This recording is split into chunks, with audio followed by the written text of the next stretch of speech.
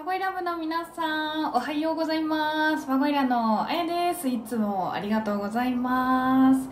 えー今日はですね、えー連符が嫌やねんどうしても連符嫌やねんなんかやってもできへんねんっていうあなたのための動画を作っております。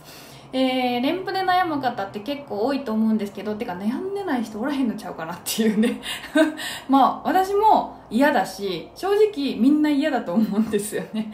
連符来たらなんかめっちゃうまく吹けたら一発でうまく吹けたらあめっちゃ楽しいやないこれみたいな。って思う時もあります。あるけど、まあ、大概ねファゴットの指って結構ややこしいですよねこのね。もうこのややこしい指使いをうまくあのやらなあかんっていうこのストレスね半端ないですよね。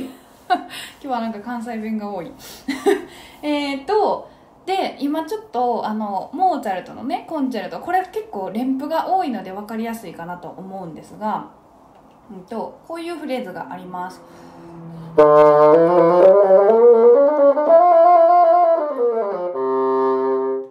ういうフレーズ、うん、でしかもねこれ前の1小節をつなげておくとめっちゃ嫌なんですよね。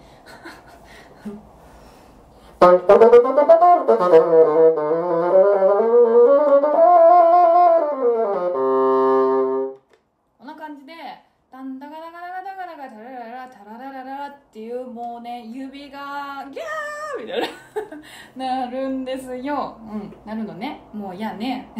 嫌ね。で特にここが嫌だと思うんですよね。ここの楽譜で言うと。後半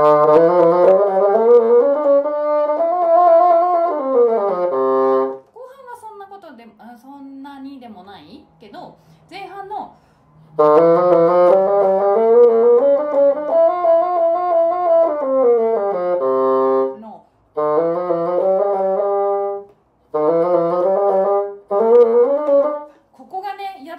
けどこれ練習法としてはまず1回目リズム変えます。タンラランラランラランララン。このタラララララララっていう楽譜通りで一生やっててもできんわっていうところね。あのそのままやできたらいいんですけどゆっくりの、まあ、テンポ50ぐらい落としちゃってねタラララララララってね。っ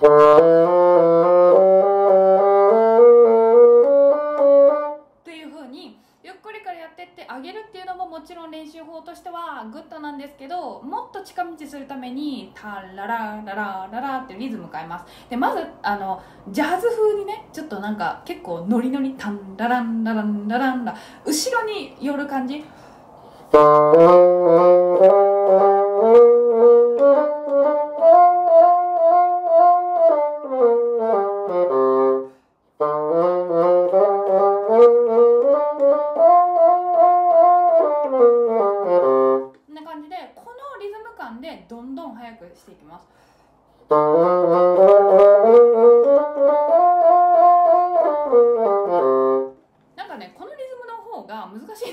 正直。このリズムで速くできるってことは楽譜で楽譜通りで2テンポでも必ずできるようになります。これがすごい近道なのでちょっと本当にワゴイラの練習法としてめちゃめちゃ言ってるんですけど意外と知らない方もしかしたら多いかもしれないし、えー、と忘れてる方とか もいらっしゃるかもしれないからあのできたらこれ真似して真似するだけですよ。真似真似。ジャズ風にねちょっとノリノリでやってもらって。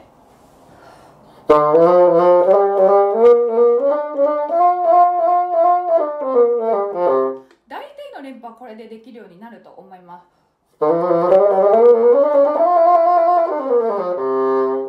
れでもできない連覇ありますよね。こう指が本当やだわみたいな。なんかそういう時は運指をあの変えたりとかもするんですけどまあ変えない時変えられない時とかあの分かんないとかねもしかしたらあるかもしれないけどえっとどうしてもこのこの一瞬この一拍だけできないっていう時はすごい細かく分割して練習します。でその時おすすめなのは次の音、えー次の音符の頭まで吹く。ここまで。次の F まで吹く。大体みんな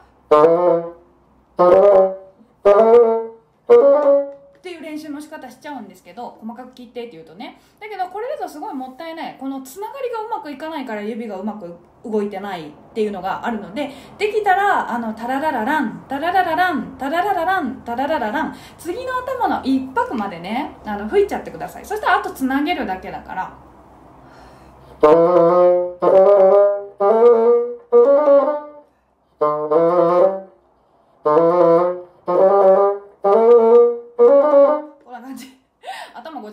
ごちゃごちゃになっちゃったこんな感じでタラララランタラララランタラララランタララララン。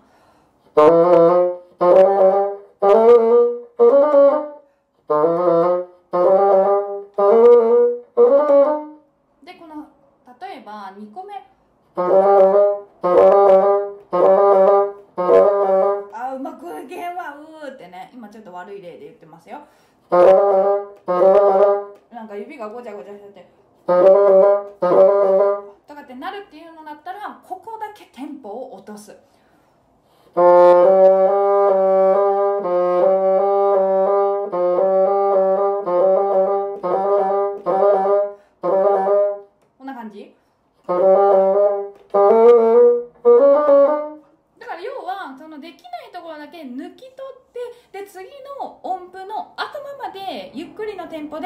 っていう練習法ですね。っていうのをやるとあの分割して、えっとは速い連符っていうのができるようになります。で分割して早い連符ができるようになった箇所はあとはパズルのピースみたいにグシュってねガン!みたいな感じであの全部一つにつなげる作業をします。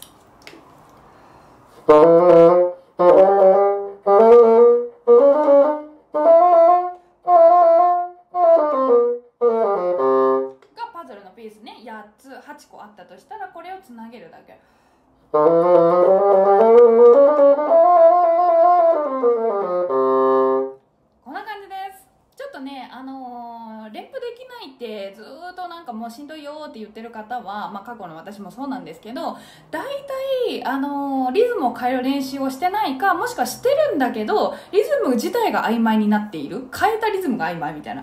だからジャズでねもっとこう後ろに寄ったタンラランラランとちょっと大げさなぐらい変えちゃうとでそれを一定に吹くんですよ。でそれでテンポ上げてってで大体はできるはずですこれで。だけどどうしてもねファゴットの牛ってややこしいことが多いからもうほんと指嫌になっちゃいましたね。もうややこしいことが多いから一部分だけできない。この1拍だけ。この、えー、8本部分だけがうまくいかない。タラだけがうまくいかないんだよなっていう時はそこの部分だけ切り取る。あのパズルのピースみたいにこれパズルなんですけどねこれね。